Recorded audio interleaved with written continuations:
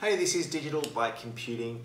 Today we're going to talk about a desktop engineer or a support analyst, support engineer, technician, what have you, uh, and what they do.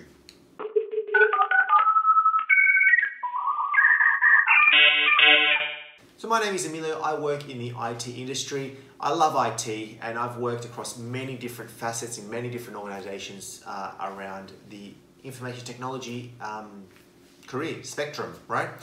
And we're going to look at a desktop um, engineer, a support analyst. Uh, what do they do? Generally, these guys land in what's called a level two position. So most companies, you may have a level one, level two, level three sort of escalation, um, triaging escalation for technical issues, right? So if somebody in the business has a technical problem, they need to log a ticket, they may need to call somebody, they send an email to somebody in the IT department. Now in some scenarios, in some businesses, if they're small, you may not have this setup of one, two, three. You may just have a small group of IT people. You may have one IT person, you may have nobody, and you just do some contracting, you get some consultants in from time to time.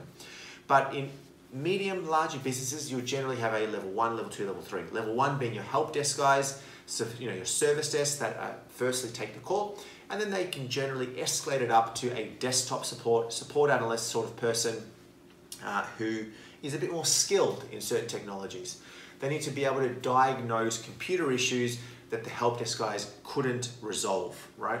So these guys are going to be fairly technical, uh, can understand the technical details of computers, uh, how to open up a computer and diagnose problems, how to install software, how to troubleshoot problems, those sort of things. So troubleshooting is one of their big, big elements of a desktop support engineer. As I said before, perhaps the help desk will get a call, I need some help. I'm having this issue on my computer. They can't fix it for whatever reason.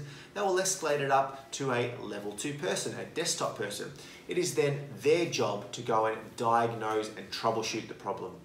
Looking through, perhaps looking through logs on a, on a Windows computer, on a Mac computer perhaps, um, checking, you know, rebooting the computer, maybe updating the software, connecting it to Active Directory again, which is the, um, the tool of Microsoft for authenticating users on a, on a network, for example.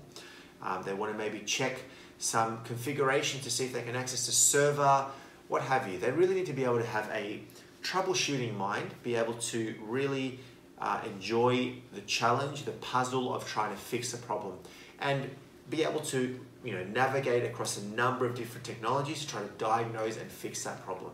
They're responsible for perhaps installing software, creating software packages, software images, going out onto the floor and installing software for folks, right? They need some new versions of what, whatever, new version of Microsoft Office, they may need to install that. A bit more higher up than that, they may be involved around packaging software, right? So rather than going out and deploying it individually, they could package it up and then pushing it out remotely. You know, there's tools such as SCCM, which is a great tool that a lot of desktop guys use, a lot of support guys will use for managing your, um, your fleet of computers. You know, you can go and remote into their computers so you don't have to go out on site. You know, if, if your customers or your users are in a different building, in a different state, in a different country perhaps, um, you can just remote into their computer, control their screen, diagnose, troubleshoot problems, install their software, fix their problems, etc. Right? A lot of stuff that they can do from there. So a lot of desktop guys may also get involved in uh, server um, diagnosis or server administration.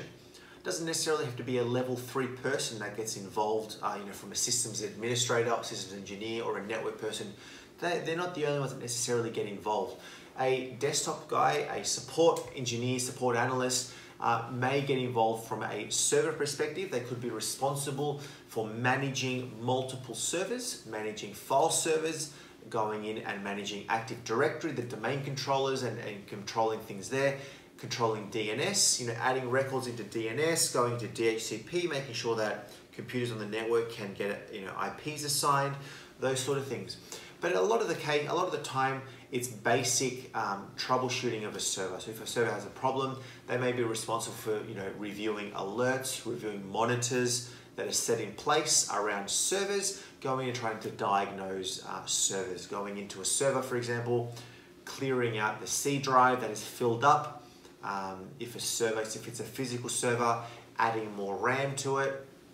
Um, they may have access to virtualization technologies, so tools such as VMware or Citrix or Hyper-V, Microsoft Hyper-V, where they can go in and manage multiple virtual servers, go in and add more RAM, add more CPU to a server as directed perhaps from a level three engineer. Um, so they, I think they should have some form of experience from the server perspective. Um, in, in my experience, majority of people that I've worked with that have been desktop support, desktop analyst guys have had good enough knowledge from a server perspective and further to that, generally want to move into that next server um, career, right? And at the end of the day, somebody that's in a desktop support role who wants to move into a systems engineer role won't just move up just as, just because. They'll generally already be involved in servers and get more proficient and more advanced in their diagnosis of servers to be able to move up to that next level. So really a desktop guy is somebody that is very, very customer focused, can deal with customers and users very well, they're likable, they're, you know they they they work well as a team, especially that's another important thing. But really, from a customer perspective, um, what I look for when I'm looking for desktop guys, for example, for to work in, in, in a company, I don't look for somebody that can tell somebody how to fix a problem, or or just go and fix the problem, right? Go and tell the user this is what you need to do to fix it. I prefer them to work with that person, sit down with them, show them how to do it, and actually train that staff member on how to do it themselves, perhaps next time, you know, so that they, the desktop person can focus on other things. So that is my overview of what a desktop support analyst, uh, engineer, many titles, technician, uh, do from a day-to-day -day basis. So I would love it if you commented below. Let me know your thoughts. Uh, if you found this helpful, please do let me know. I'd love to hear what you have to say. Uh, like my video and I would really appreciate it if you subscribe to my channel as well, Digital Byte Computing, by clicking on the button and uh, we will talk to you next time. So if you found that video helpful, please like it and subscribe to my channel Digital Byte Computing just on the button there for more videos.